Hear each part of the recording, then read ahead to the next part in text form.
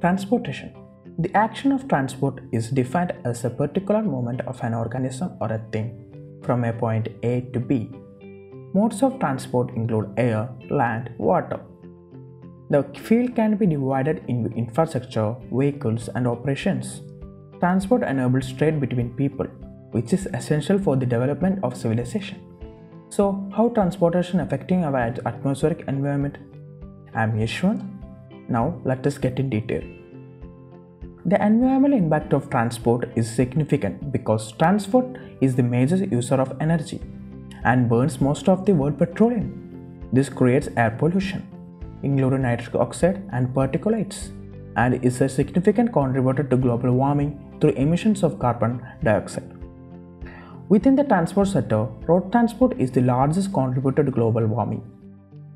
The energy consumption in transport sector is the main cause of pollution. There are significant differences in fuel efficiencies between various modes of transport. For example, consumption of energy in car is more among urban transport modes, although there has been a significant improvement in the fuel efficiencies in car and other automobiles. Now let us know what are the types of pollutions. Air pollution, noise pollution. So what is air pollution and noise pollution? Air pollution. Transport is a major source of air pollution, not only in developed but in developing countries also. Ecologists believe that the rapid increase in numbers of vehicles on our roads, which has taken place without any real recession, is fast developing into an environmental crisis. Exhaust fumes are the major source of atmospheric pollution by the motor vehicle. The main pollutants are carbon dioxide, unburned hydrocarbons, nitrogen oxide, lead and carbon dust particles. It is clear that very amount of pollutants are being emitted from various forms of transport into the air that we breathe. The emissions are also responsible for the increase in global warming. The most obvious way of achieving a reduction in pollution by motor vehicle is to reduce the emission of fumes at source. A short-term solution is likely to be made by modification to present type of engines and improve combustion within the exhaust system. Another side effect of transport is the noise pollution. Traffic noise has a major impact on human health, yet it could easily be halved with exciting technologies if more strengthened limits were adopted.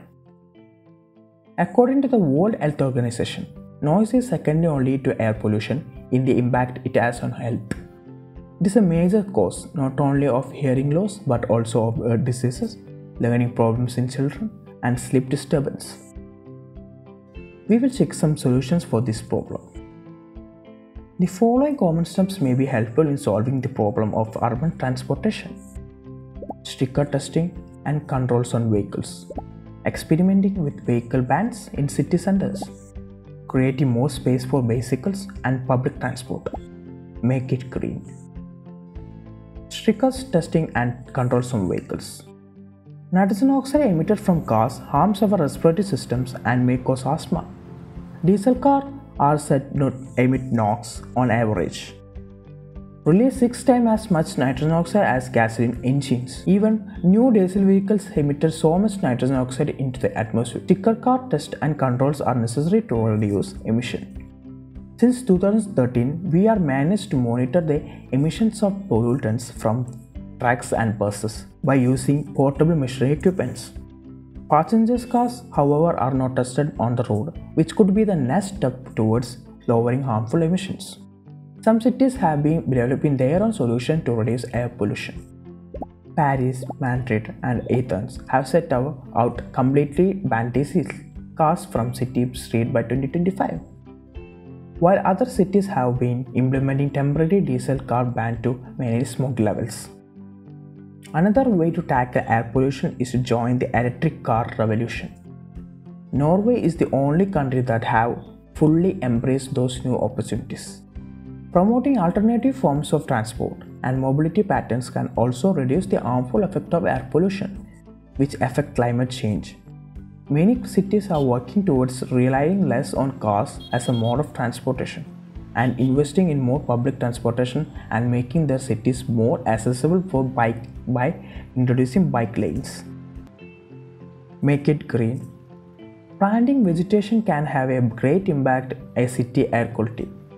Plant converts carbon dioxide into oxygen, filters particulates out of the air and helps to cool down cities subject to the urban heat island.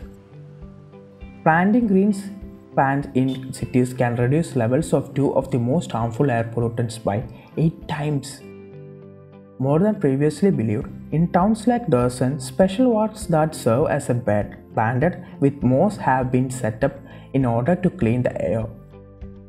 One of these walls is supposed to filter as many particulates out of the air as 200 trees. Before I wrap up this, I'm sure that now you are aware of the importance of urban transportation and impact on environment. We all have a role to keep our environment clean. You must realize your responsibility is to is maintaining the transportation. Influence others with your energy and ideas. A lot can be done if people work together. Hope you have enjoyed this one and let us know your comments on this video. Stay tuned for the next episode. Until then, goodbye.